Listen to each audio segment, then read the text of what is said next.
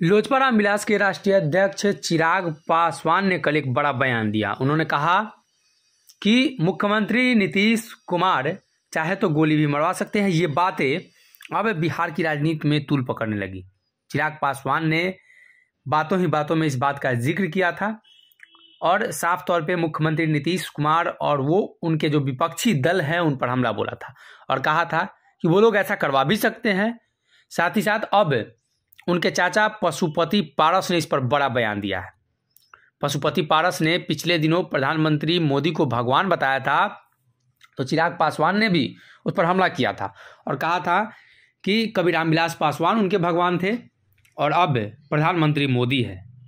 इन सभी बातों का जवाब चाचा पशुपति पारस ने दिया है। चाचा पशुपति पारस ने गोली मरवाने वाले बयान को लेकर भी बयान दिया और साफ़ तौर पे कहा कि किसकी हिम्मत जो गोली मरवा दे साथ ही साथ, उन्होंने एक और बात का ज़िक्र कर दिया। कहा कि चिराग पासवान ने बिहार में राजभवन मार्च किया था, उस समय प्रशासन के लोग बाइज्जत अपने साथ उनको गाड़ी में बिठा कर ले गए थे। चिराग पासवान को कितनी इज़्ज़त मिलती है, ये बात उन्हें ही पता है, और मुख्यमंत्री नीतीश कुमार के बारे में उन्होंने ये बयान दिया तो ये गलत है। चिराग पासवान के भगवान वाले बयान को लेकर भी उन्होंने कहा कि प्रधानमंत्री मोदी अच्छे व्यक्तित्व के नेता हैं, उनमें ईश्वरीय गुण है। और ये सभी लोग जानते हैं तो हमने ये बातें कही हैं।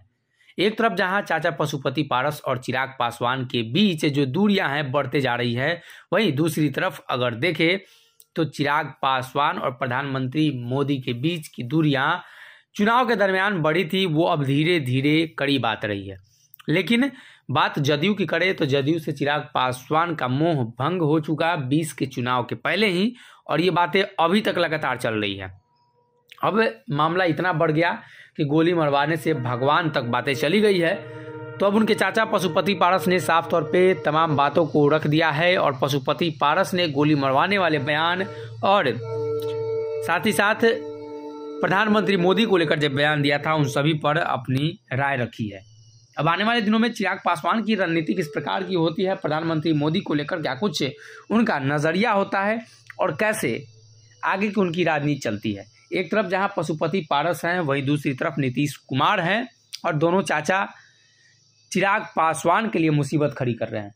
बिहार में एनडीए में वापसी को लेकर नीतीश कुमार स्टे लगाते हैं, वहीं पशुपति पारस बार बार उनकी पार्टी को लेकर, उनको लेकर बयानबाजी करते हैं। ऐसे में चिराग पासवान का नज़रिया क्या होता है और किस प्रकार से आगे की राजनीति बढ़ती है? फ़िलहाल के लिए इस खबर में इतना है। अगर ये वीडियो पसंद आई और वह बिहार के राजनीति और बिहारियत से सरोकार रखेनी तो सब्सक्राइब बटन दबा के चैनल के सब्सक्राइब कर ली। ओजे एगो घंटी बा।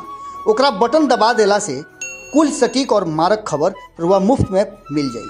अगर रुआ पत्रकारिता के हमनी के नया प्रयोग में सहयोग कर चाहतानी तो ज्वाइन बटन दबा दी।